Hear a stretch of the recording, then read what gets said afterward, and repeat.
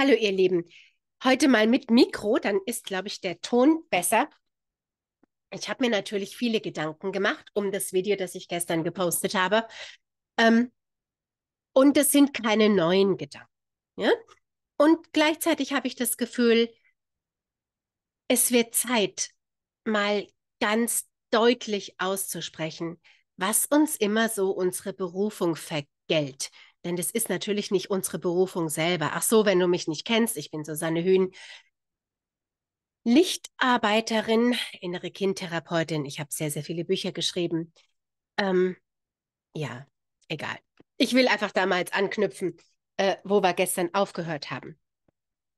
Und es gibt ein paar Dinge, die werde ich jetzt hier einfach mal laut und deutlich aussprechen. Wie viele das sind, weiß ich noch nicht. Ich werde es im Nachhinein dann wissen und werde es dann natürlich auch im Titel schreiben.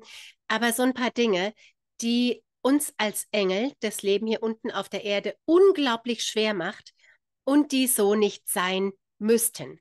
Also die Frage ist letzten Endes, wie verderben wir uns selber den Spaß? Und das werde ich jetzt einfach mal ganz klar und deutlich sagen.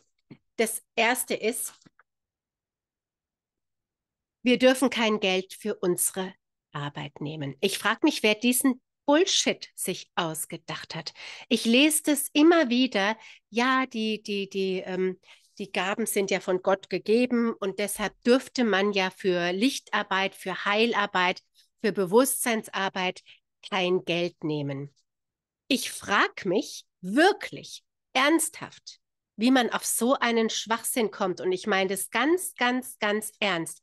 Ich kenne niemanden zu keiner Zeit jemals, der von Licht und Luft und Liebe gelebt hat und nicht von irgendjemanden gesponsert war. Ja? Wenn du keiner Glaubensgemeinschaft angehörst, die auf irgendeine Weise Geld eintreibt, zum Beispiel durch Steuern, ja? durch Abgaben, durch Ablassbriefe und sonstigen Kram, wenn du also nicht von irgendjemandem gesponsert wirst oder einen ein Partner hast, der das Geld für dich verdient, dann frage ich mich, wovon willst du dann leben? Hm? Die Idee, wir dürften für unsere Arbeit kein Geld nehmen, ist ganz, ganz, ganz toxisch. Denn damit verdirbst du dir selbst den Spaß und das kommt dazu. Du nimmst den Menschen die Möglichkeit, dich wertzuschätzen. Glaub mir, ich bin seit 1990 in der Energiearbeit unterwegs. Seit 1990. Ich will gar nicht ausrechnen, wie viele Jahre das jetzt sind. So, ich habe alles durch. Von ich nehme sehr, sehr wenig Geld dafür über ich nehme sehr viel Geld dafür. Jede einzelne Diskussion, jedes Mal bei einer Preiserhöhung, der Aufschrei immer von denen, die sowieso nicht kommen, zu keinem Preis. Und was ich immer wieder festgestellt habe, ist, wenn du zu billig bist, wird es nicht wertgeschätzt. So einfach ist das. Dann wird es nicht wirklich umgesetzt. Ganz einfach, ganz einfach. Außerdem nochmal, nochmal, wir müssen es überhaupt nicht rechtfertigen, wir müssen es gar nicht erklären, wir brauchen überhaupt keine Gründe dafür. Es gibt keinen einzigen vernünftigen Grund, keine Grundlage für die Idee, wir dürften für unsere Arbeit kein Geld nehmen. Dafür gibt es kein Vorbild, überhaupt keins. Ja? Denn wie gesagt, entweder du hast früher in vergangenen Leben einer Glaubensgemeinschaft angehört, dann wurde die aus Steuern finanziert, oder du bist von irgendjemandem gesponsert worden, oder du lebtest in einer Zeit, als es noch genügt hat, dir die Früchte und alles, was du gebraucht hast, aus dem Wald zu holen. Ja, also konntest wirklich dich selber versorgen. Ne? Also, das erste ist, bitte, bitte, schlagt euch nicht ständig gegenseitig um die Ohren. Ihr dürftet kein Geld dafür nehmen. Das verdirbt uns nur die Freude. Wirklich. Denn auf der anderen Seite erlebe ich es immer wieder, dass wir totunglücklich darüber sind, dass wir starke innere Impulse haben. Was willst denn eigentlich du, mein Schatz? Nee, äh, äh, äh. Kätzchen, dass wir starke innere Impulse haben für irgendwas und können es nicht umsetzen, weil uns das Geld dazu fehlt. Was soll denn das bitte sein? Und dann kommt noch was dazu. Lichtarbeit bedeutet Bewusstseinsarbeit.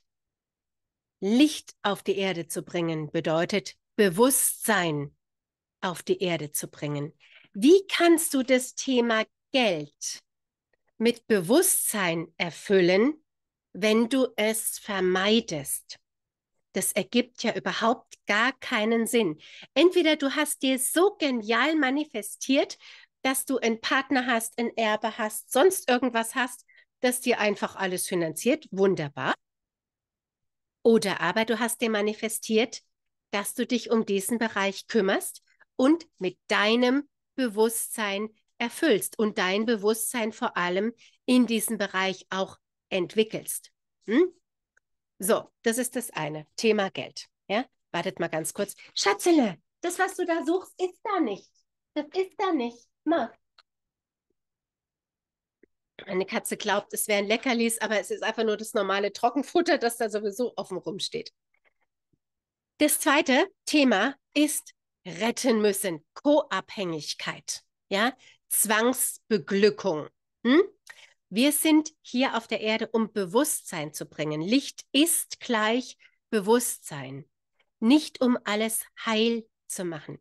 Dann wären wir keine Engel, Angulus, Botschafter, sondern wir wären Zauberfeen, die mit ihrem Zauberstab alles in Ordnung bringen könnten. Glaub mir, wie unendlich gerne wäre ich das schon oft gewesen. Ich bin schon darüber verzweifelt, eben nicht wirklich heilen zu können, ja? Sekunde mal. Schatz, es ist gut jetzt. Gut jetzt. Das, was du hier willst, ist nicht. Das ist es nicht. Ende. Entschuldigt bitte, ich hätte es auch anhalten können. Aber ich habe gestern ein Video gemacht und habe es angehalten in der Hälfte und dann war es plötzlich am Ende komplett weg. So. Botschafter sind wir. Wir sind Botschafter für das Bewusstsein. Und am allermeisten braucht der Mensch, der du selbst bist, diese Botschaft des Engels, der du bist. Ja? Das bedeutet, den einzigen Menschen, den du bitte retten kannst und darfst, das bist mal du. Hm? Und ansonsten unterstützen wir Menschen dabei, in ihre eigene Kraft zu kommen, sich an sich selbst wieder anzubinden, denn sonst werden sie von uns abhängig. Hm? Und es ist auch einfach vergebliche Liebesmüh, wenn du versuchst, irgendjemanden zu retten, der am Ende gar nicht gerettet werden will. Und diejenigen, die gerettet werden wollen, die tun auch alles dafür, was in ihrer Macht steht und nehmen das, was du zu sagen hast, zu geben hast, auch wirklich an. Das heißt, dieses Retten wollen, dieses co-abhängig sein, dich darüber definieren, dass du für andere hilfreich und gut bist, anstatt mit dir selbst in Kontakt zu sein, ist ein großer, großer spiritueller und emotionaler Burnout-Faktor. Kümmere dich bitte innig um das Thema Co-Abhängigkeit. Ich habe da wirklich viel zu geschrieben und du findest hier auf YouTube bestimmt auch jede Menge Videos zu diesem Thema. Ja, Co-Abhängigkeit bedeutet einfach, ich bin davon abhängig, dass ich das, was ein anderer nicht für sich tut, für ihn tue, weil ich mich darüber definiere und spüre und bin dann natürlich ständig völlig verzweifelt, weil es so nicht funktioniert, ja, weil wir nur Menschen helfen können, die sich helfen lassen wollen, inklusive wir selber. Hm? Also ganz, ganz wichtig, das Licht des Bewusstseins, das du auf die Erde bringen willst, braucht insbesondere der Mensch, der du selbst bist. So, der nächste Bullshit, der uns den Spaß verdirbt an unserer Berufung, ist, dass wir bestimmte Dinge nicht fühlen dürfen. Ja? Wir sind das nicht, wir sind das nicht, wir sind jenes nicht. Wir sind nicht wütend, wir sind nicht genervt, wir sind ständig edel, hilfreich und gut. Wir trinken keinen Kaffee, habe ich gestern schon gesagt. Und was für einen Quatsch. Und, und es ist das Schlimmste, halten uns das gegenseitig vor. Was? Wirklich? Nee, wütend bin ich nie. Dann hast du ein kleines Problem. Denn Wutenergie, Aggression, kommt aus dem Wurzelchakra und ist zutiefst menschlich und sorgt dafür, dass dein Selbsterhaltungstrieb anspringt. Ich erlebe sehr, sehr viele Lichtarbeiter, die sind irgendwie so bis sie so halb geerdet, ja, so vielleicht bis, bis zum Herzen und dann ist aber wirklich Schluss, weil sie mit dem Menschsein in Wirklichkeit gar nichts zu tun haben wollen. Warum nicht? Weil das Menschsein bedeutet, du hast starke Gefühle, du hast eine starke Präsenz, du hast eine starke Grenze. Das ist eine wuchtige, krasse Energie, dieses Lebendigsein auf der Erde, dieses Menschsein. Und damit wollen sehr, sehr viele Lichtarbeiter überhaupt nichts zu tun haben. Und ich frage dich wieder, wie möchtest du das Licht des Bewusstseins auf die Erde bringen, wenn du selbst mit deinem eigenen menschlichen Bewusstsein gar nichts zu tun haben willst, mit deinem eigenen Menschsein nichts zu tun haben willst. Und der Weg ist niemals Vermeidung. Nie. Der Weg ist immer zu schauen, okay, angenommen, ich bin jetzt wütend, was ist es denn genau, was mich so wütend macht? Denn Wut bedeutet immer, immer, es wurden Grenzen verletzt. Also welche Grenze wurde denn verletzt? Wo habe ich es denn erlaubt? Ja? Oder wenn ich Kind war, wo habe ich es einfach, ja, wo war ich wirklich dann an der Stelle das Opfer? Und wie kann ich das heilen? Deshalb mache ich so unendlich viele innere Kindarbeit. Nicht, weil ich sage, die innere Kindarbeit ist, ist so, so, so heilig, sondern weil du nicht drum rumkommst, deine Emotionen zu heilen, indem du Selbstliebe, Selbstmitgefühl entwickelst, wenn du wirklich das Licht des Bewusstseins auf die Erde bringen möchtest, ja?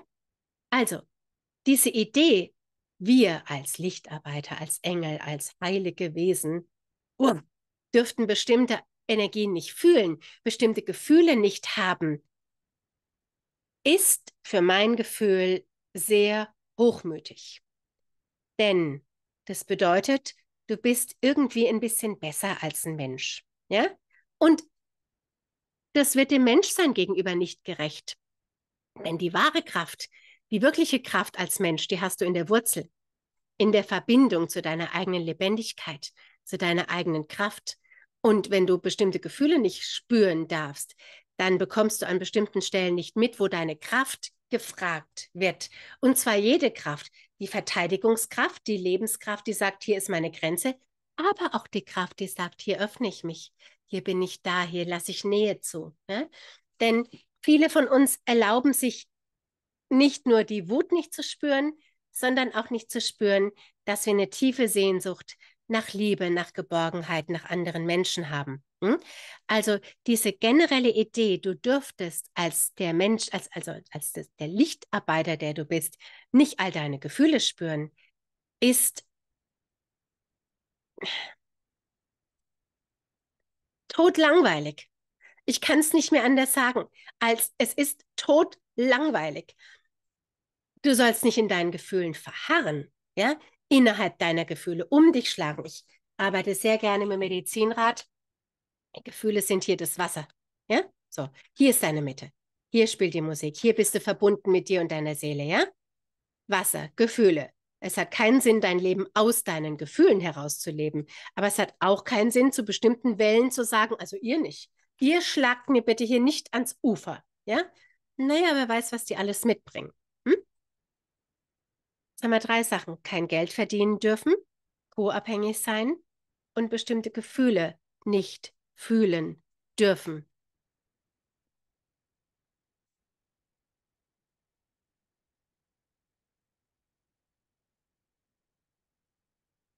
Ich glaube, das sind mir für heute die wichtigsten. Denn immer wenn ich mich in meinem Leben umgucke, sind es die Dinge, die mich am meisten verletzen, nerven und die dafür sorgen, dass ich mich in mich zurückziehe. Wenn man mich als den Menschen, der ich bin, in Frage stellt und das gehört alles dazu. Hm? kein Geld verdienen dürfen bedeutet, du, ja, darfst keine materiellen Bedürfnisse haben. Du bist aber nun mal auf der Erde und wir haben uns eben auf dieses Geldsystem geeinigt.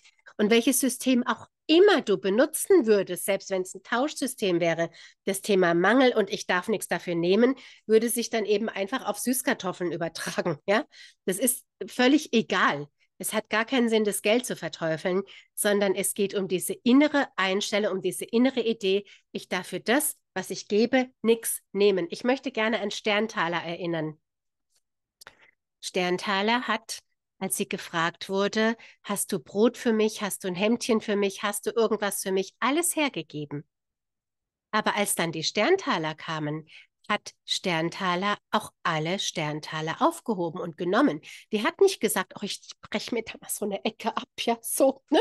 Den Rest lasse ich mal liegen oder hm, weiß ich jetzt nicht. Habe ich eigentlich dafür genügend geleistet? Darf ich die eigentlich haben? Was ist denn, wenn andere auch welche wollen? Nein, es waren ihre Sterntaler und sie hat sie alle eingesammelt. Alle.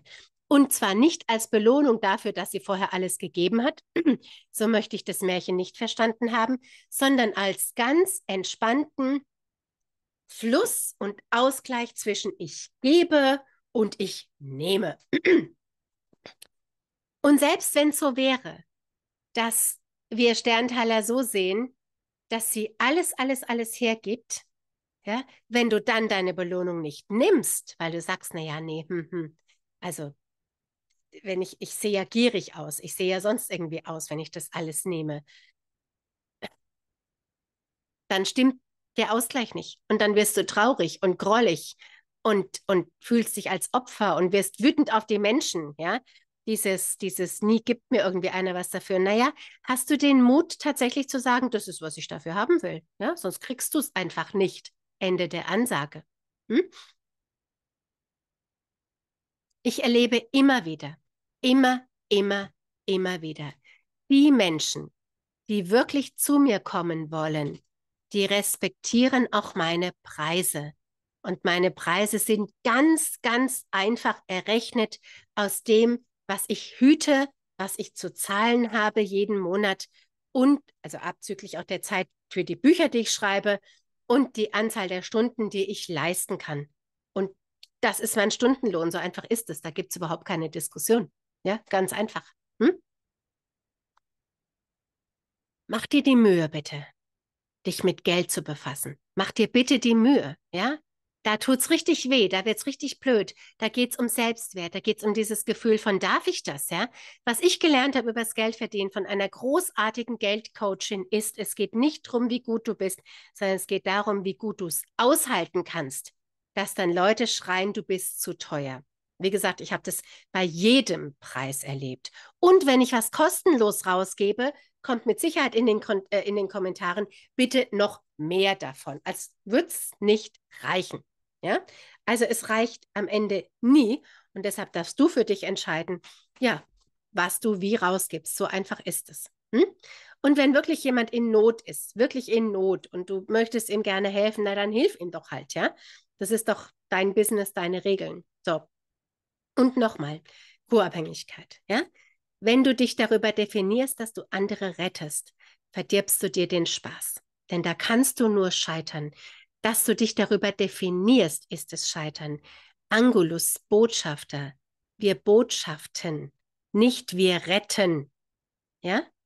Wenn du dich als Retterin, als Retter inkarniert hast, dann, dann hast du eine andere Energie. Und selbst da, wenn sich jemand nicht retten lassen will, ja, oder das Seine nicht dazu beiträgt, dann ist es so, als ob da ein Bergsteiger ist und du rennst, du, du, du, ne, der hängt da in der Wand und du wirfst ihm das Seilzeug zu und er ist aber nicht bereit, die Schritte dann auch zu tun, es anzuziehen, sich die Mühe zu machen, sich da hochzuhieven, ja.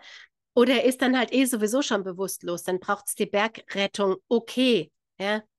Aber meistens suchen wir uns die Leute, ja, von denen wir hoffen, wenn wir ihnen nur ein bisschen was geben, dann geben sie uns irgendwann mal irgendwie was zurück. Anstatt zu denen zu, äh, zu gehen, von denen wir spüren, die wollen das auch wirklich, die wollen es auch umsetzen, die wollen was damit machen. Also bitte nochmal, Co-Abhängigkeit, bitte, bitte, bitte. Und das Dritte, ich sage es jetzt doppelt, ich weiß es, ne, ähm, ist wirklich, hört auf, euch gegenseitig zu erzählen, was ihr fühlen dürft und was nicht. Ich bin mal auf die Kommentare gespannt. Ja? Ihr dürft selbstverständlich alles fühlen, denn ihr seid Lichtarbeiter und damit seid ihr hier, um Bewusstsein in das Menschsein zu bringen. Und ich sage es jetzt mal so, wenn Gott nicht wollte, dass es bestimmte Gefühle gibt, dann hätten wir sie auch nicht. Du kannst immer alles lichtvoll und im Schatten sehen. Und lichtvoll sind deine Gefühle dann, wenn du sie als Wellen nimmst, die an dein Ufer schlagen und die dir was sagen wollen. Wenn du natürlich hier drin ertrinkst und um dich schlägst und deine Gefühle ja äh, für bare Münze nimmst im Sinne von ich bin meine Gefühle und ich tue alles, um meine Gefühle nicht zu spüren. Ich, ich, ich agiere quasi aus der Schmerzvermeidung heraus, okay, dann wird es schwierig, aber darum geht es nicht. Das ist nicht so gemeint, ja. Also darum geht es einfach nicht, ja. Wir leben unser Leben bitte hier aus der Mitte. Geld ist übrigens hier in der Erde, ja. Tatkraft ist hier im Feuer und hier oben sind deine Gedanken, deine Überzeugungen und deine Visionen. So, ihr Lieben. Diese drei Dinge finde ich am schwierigsten. Kein Geld verdienen dürfen, retten müssen und nicht alles fühlen dürfen. Das, wow, ja. Wenn wir das weglassen könnten, hätten wir schon unfassbar viel gewonnen und vielleicht auch wieder viel, viel, viel mehr Lust. Ich feiere dich. Bitte verdien Geld damit so viel wie du willst. Bitte hab all deine Gefühle. Bitte rette dich selbst. Kümmere dich zuerst um dich und dann um andere. Ich bitte darum. Der Mensch, der du bist, braucht den Engel, der du bist, am aller, aller, allermeisten. Rette bitte nicht andere statt dir. Okay, so, ich glaube, ich glaube, mein Wort zum 3. Oktober ist hiermit gesprochen. Und ich bin gespannt auf eure Kommentare. Ich habe ein bisschen Angst vor euren Kommentaren, muss ich mal ganz ehrlich sagen, eben wegen diesen drei Dingen. Ja, so, das macht aber nichts. Ich stehe einfach jetzt mal hier und sage, so ist es. Ende der Ansage. Danke fürs Gespräch. Bis, ähm, na, gehst du mal aus hier? Bis ganz bald.